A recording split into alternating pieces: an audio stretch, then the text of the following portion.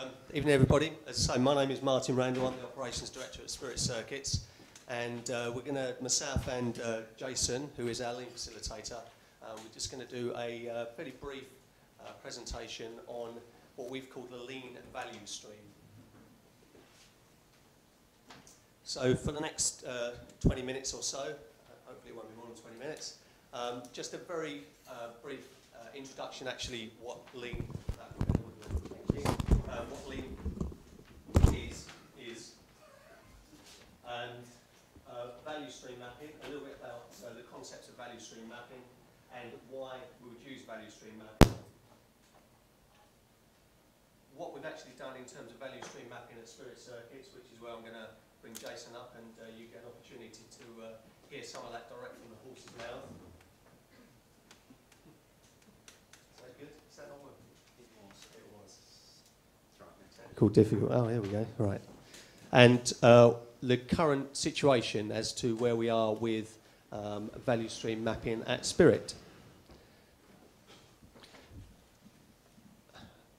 Bill mentioned that uh, this is the, the second uh, time we've been here at Hailing, and for you guys that were here last time, you may remember that um, I did a, a similar uh, presentation, which at that time was on 5S. We was at the very beginning of our lean journey, if you like, at that point, and uh, this was one of the slides I used at the time then, and I thought it was quick, good just to have a very quick refresher in terms of the principles of lean before I go on and talk about value stream mapping in a little bit more detail.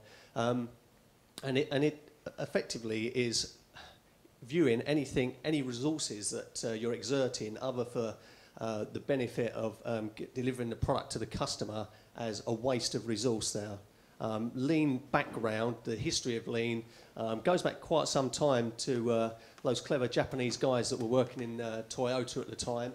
Um, back as it says, uh, uh, late 40s, early 50s, and uh, you know they developed some principles that were really known as just-in-time principles, uh, which later became what we know as lean now.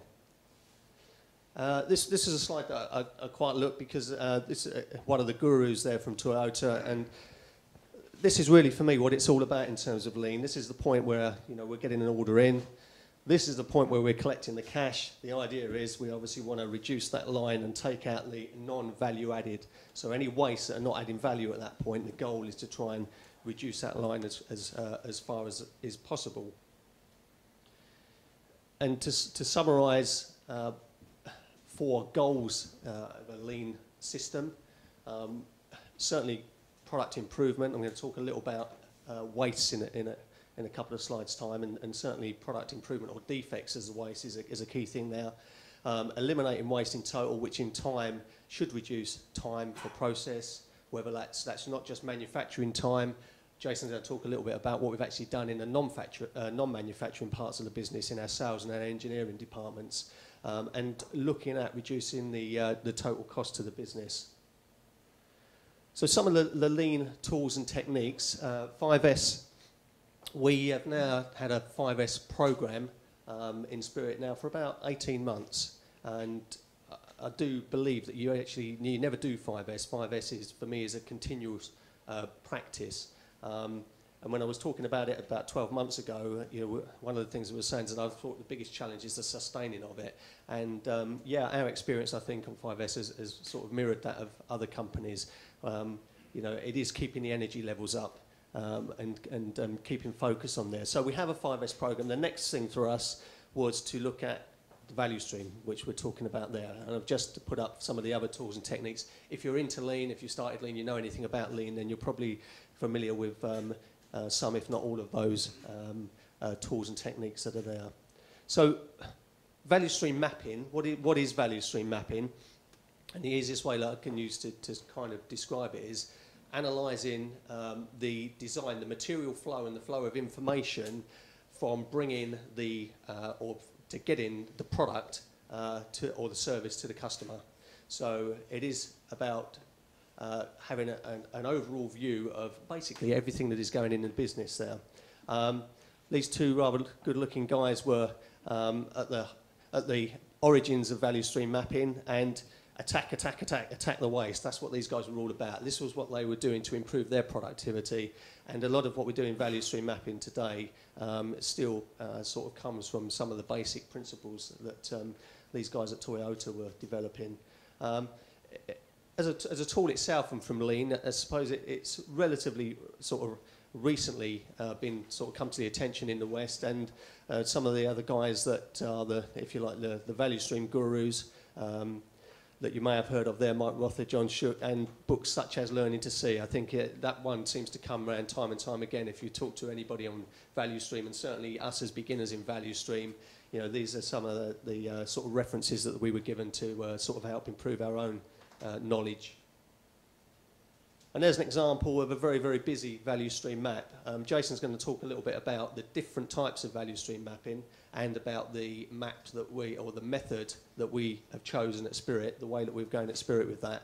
Um, so, uh, but uh, it just uh, gives you an idea that this is the, the, materials coming in. You've got your production processes at, at, the top here, subcontract processes, and shipping of products out there. So that's a very top-level view of um, of, a, of a, an activity, a, a, process flow effectively.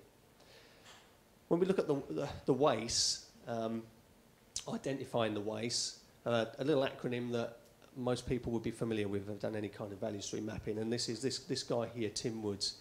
He's stealing our time. Um, the way that, this is a nice little way that we have picked up on, um, of just continually remembering and focusing on what the, wastes are, the wastes that you're trying to eliminate. You know, the, the, whole goal of this is to identify opportunities to remove these wastes. So we talked about, you know, product uh, quality improvement. You know, we could be that would fall into the category of um, obviously defects. Um, another one which is not uncommon within the industry, waiting and delays. Um, you know, it doesn't actually take, you guys know, very long to make a printed circuit board.